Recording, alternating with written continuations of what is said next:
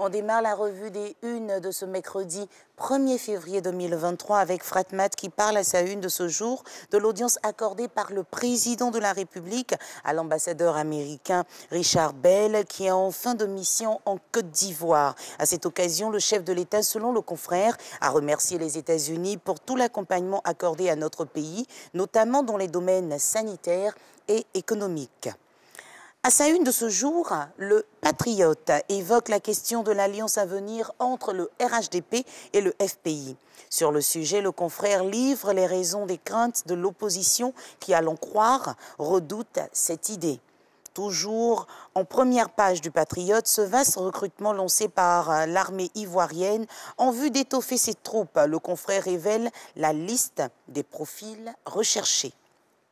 La Côte d'Ivoire réalise des progrès dans la lutte contre la corruption, selon l'expression qui en parle à sa une de ce jour. Notre pays a gagné six places dans le classement mondial des pays engagés contre ce fléau qui gangrène tous les États du monde, passant de la 105e place en 2021 à la 99e place en 2022.